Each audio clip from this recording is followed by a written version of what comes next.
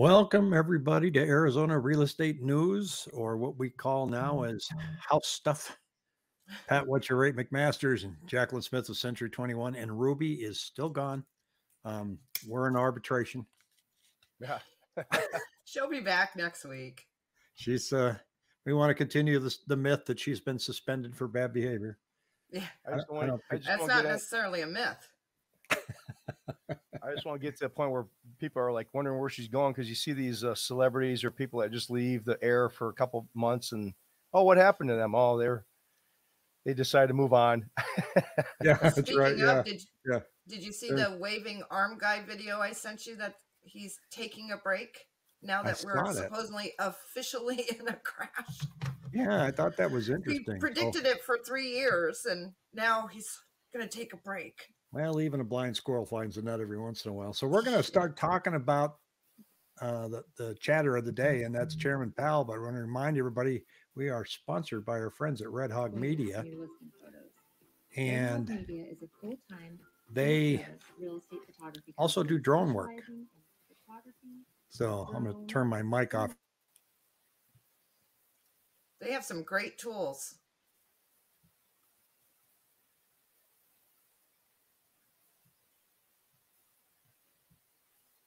Red Hog Media is our sponsor, and in this market, real estate agents, um, that's not an area where you should cut corners. So, um, I highly recommend having the uh, um, the drone footage if you're in an area where you know looking at the property from the sky is is enhances it.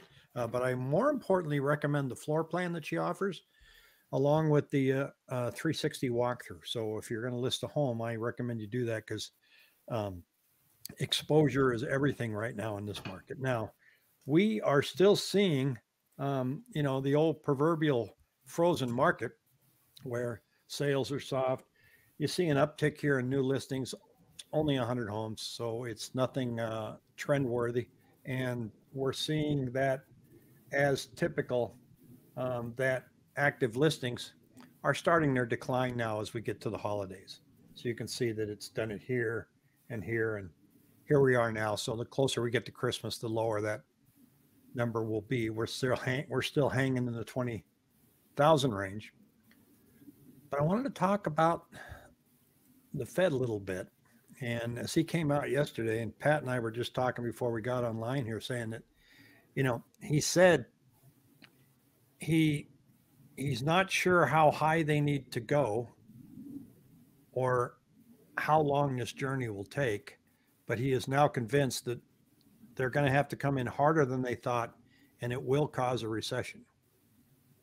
So um, they made that very clear that they're just going to keep marching upwards. And so I wanted to kind of give a perspective on on what's going on out there versus monetary policy. And then Pat's got a great analysis from Barry Habib we want to share. And this chart here is M2 money supply, and you can see the shaded areas right there are when they had to they injected all this money because we were told to stay home for a couple weeks. And they put all this money in the system and you can see this is money that's in checking accounts and uh, savings accounts and there's a lot of money out there considerably higher than what you saw back here prior to uh, the stay at home.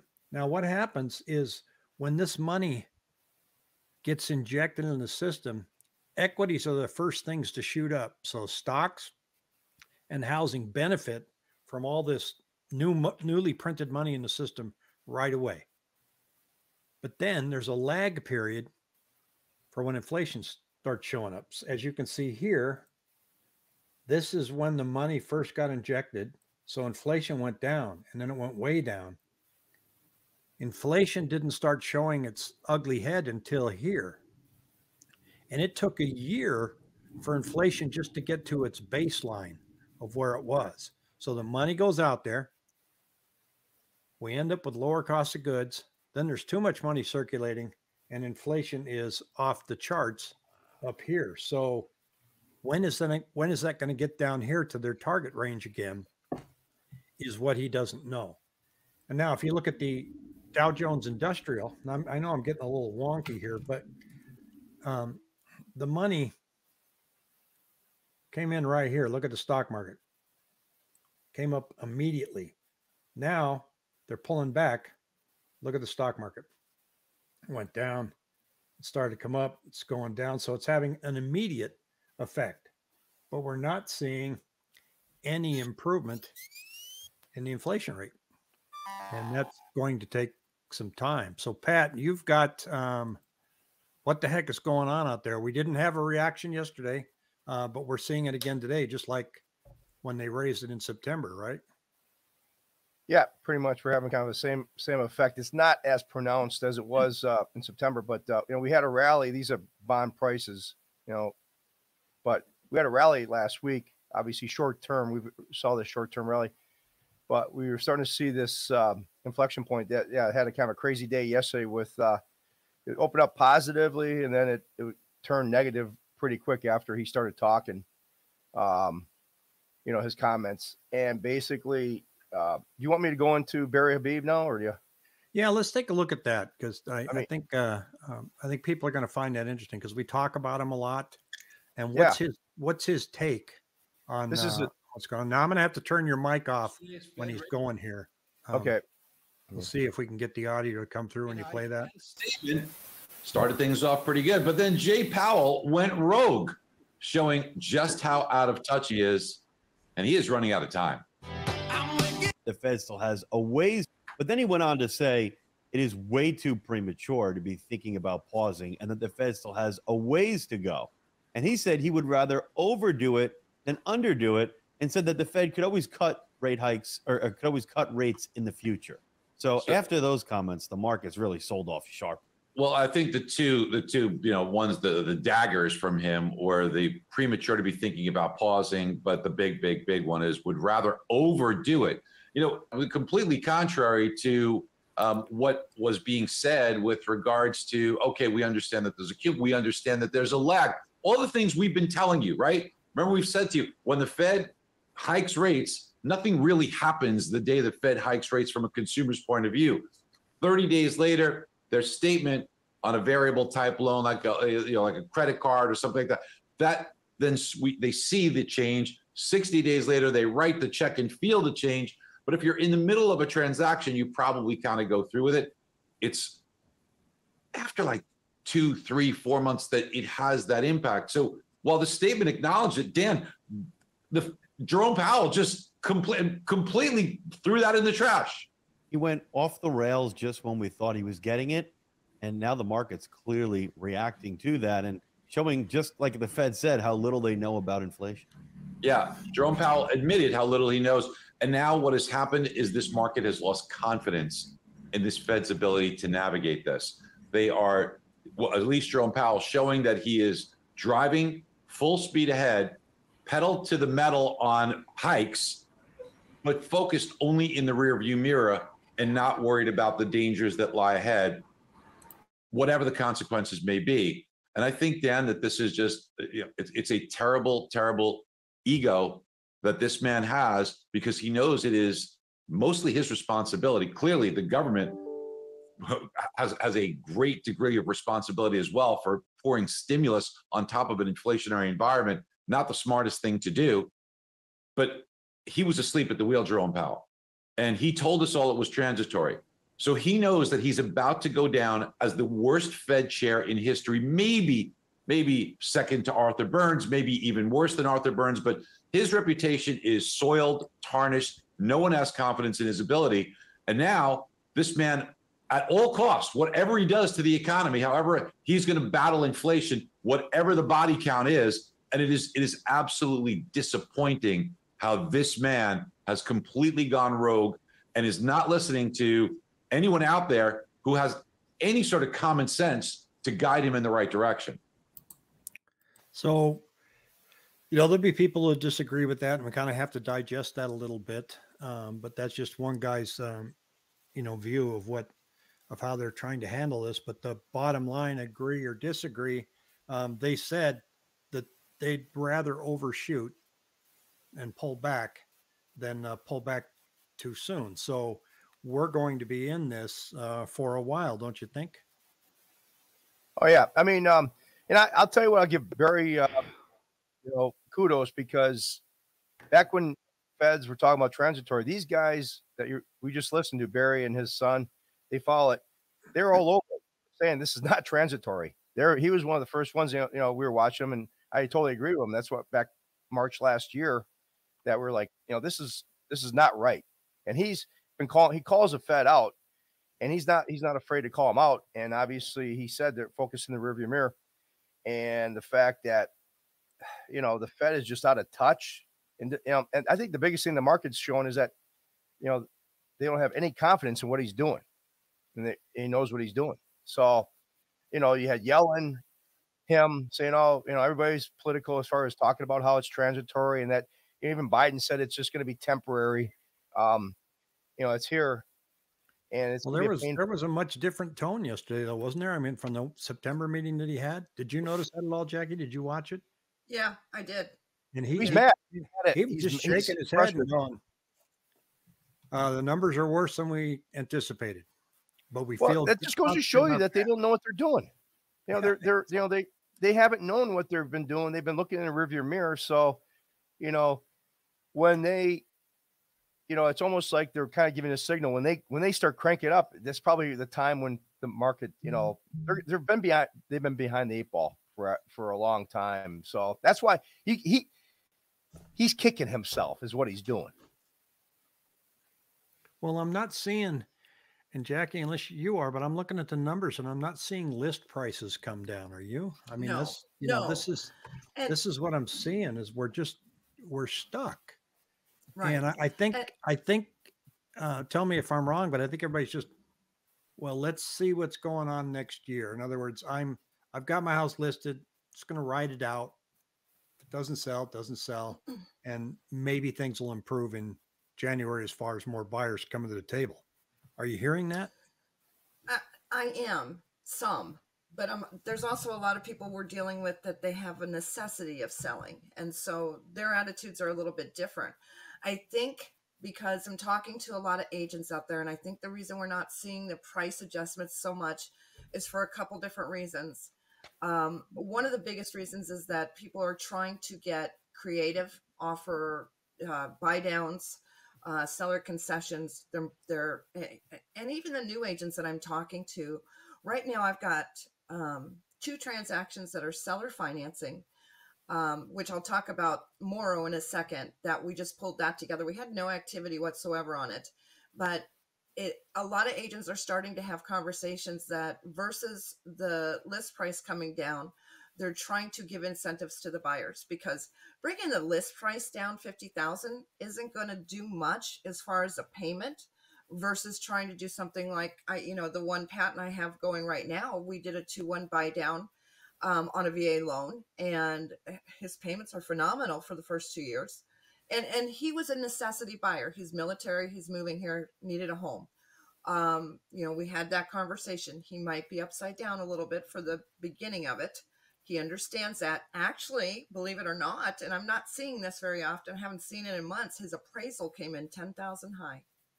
Well, yeah, and uh, kudos to you, I Pat. already You went from you went from application to clear to close in eight days on Yeah. a VA loan.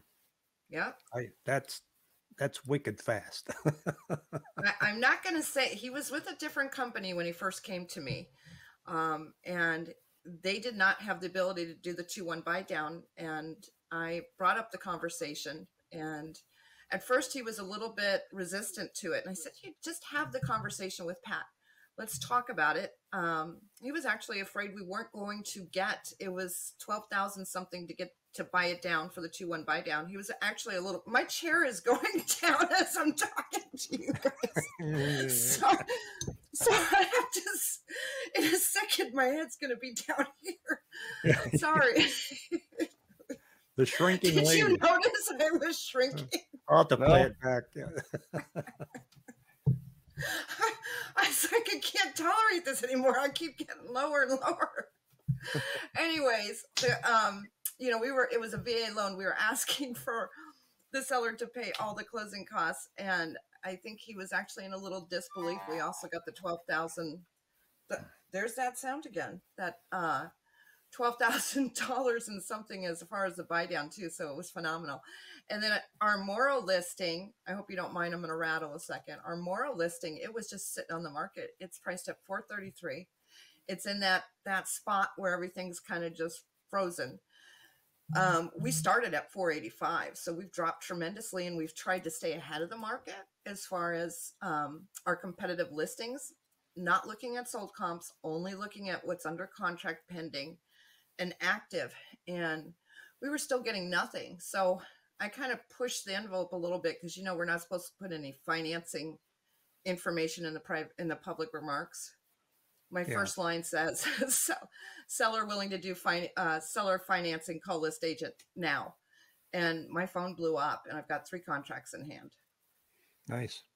Yeah, Yeah, because so- we haven't been seeing that. So uh that's cool. Pat, looks like you are you gonna is there a chart there you're looking at? You want me to share? I just or- can't go back to our uh, this. I'm gonna start look. I'm gonna start keeping an eye on this chart right here. the uh where are we at right now? Then you think we went through euphoria, unease, denial, pessimism. We're in pessimism. We're in pessimism. pes- we're in, I think we're pessimism right now. I mean, do we get to Yeah. panic and capitulation, despair? I I mean, I don't know if it's gonna get that bad, but we might get in a little little panicky. You know, I mean, I think the biggest There's thing a that little we- out there already. Huh? I think there's a little panic out there already. I mean, we've Yeah. seen it in the eye buyers and the builders. yeah. So I think Well, I'm gonna keep watching that that chart. the Case Shiller index. The blue line here is their forecast. So this is for the rest of the year. This is an index, so percentage of growth or whatever. Um, so they're you know they're forecasting obviously down, down, down, but still growing or three to four percent uh, by the end of next year. Now, having laid that out there, they're notorious for being wrong. Mhm. I think everybody is. you know, so yeah, I haven't run into anybody that's that's really been right. Um, so I think, Except us. yeah, no, I've been. I, okay, here's where I was wrong, and I, I, I, uh, I actually got a video. Oh, Coming I out was of wrong. Remember what I said about expired listings that it would spike to over one thousand? hmm Um, it didn't. It it went Where up to did it hit? seven eighty nine. That's still So- high. Yeah, that's still high. Uh, so my and I didn't have any empirical data that I was looking at that were. I just picked that number out of a hat because You I'm weren't really looking at- wrong, Rick. at you know people just don't want to have their homes listed around the holidays and then on top of that the house is sitting there. So as the listing gets up to its expiration date of october 31st they're just going to let that let that fly. So what that means there probably weren't that many listings that went on you know 90 days ago. You know most contracts are listing agreements are at a minimum 90 days. So they probably Mhm. didn't have that many Are- signed and so there weren't as many you to seeing- expire as i as i thought. But uh uh Are so you that seeing the that's one. cancellations up? haven't uh, spiked up yet either um Okay. they as i look at the the numbers there i think uh um back on market still staying around 700 cancels are staying between 7 and and uh, 800 so they aren't spiking up either i think the people that are listing right now are are just um they're just going to hang in there um you Mhm. know they got to they got to sell but they're not budging on their price they are increasing the amount of seller contributions but they're sitting on their hands now we wait now till the mid-december meeting and there's going to be more speculation pat i think about this one than there is on any of the others because you know i mean everybody just knew this was going to be 0.75 Yeah, Um, pretty much. Yeah. I mean, nobody knows, but they, you know, he just kind of came out and said, um, we're going to keep doing this till we, uh, till our goals are met. And wh- how did he say? And, and meet we will. In other words, you know, don't, there were people talking about whether or not he was going to pivot. Man, he made it clear yesterday. Don't, don't bring the pivot word up in front of me. mm-hmm. yeah. I mean, well, and that's I the think thing. a lot. I think a lot of people just thought, as far as him pivoting, not actually reducing rates, just slowing down, and obviously that he's got no intentions on that. I mean, yeah, so it's going to be, a, we'll be gonna be a rough, going to be a rough road for the year. I think. I think he pretty Yeah. much carved that in stone, unless we have some unforeseen. I mean, the Bank of England raised their rates yesterday, um, so I don't know. I just I- just thought about this. I think um, you know they're so fixated on the job uh, on the job market um and i'm just kind of talking throwing this out for conversation but if you stop and think about it this job market has been so um um dilute or what's the word i'm looking for the, the, the job market's been so out of whack with covid you know you've got they said they got 10 and a half million dollar you know 10 and a half million job openings people aren't going back to work so i mean you know, is really, you know, this. I mean, this sounds. I'm I'm just throwing this out there, but is the job market really the number one thing that they should be looking at on how you raise rates or lower rates? Because I think it's so out of whack with COVID Mhm. um, that I don't think that's a good indicator. I think you have to look at, you know, the prices. They're, they're not.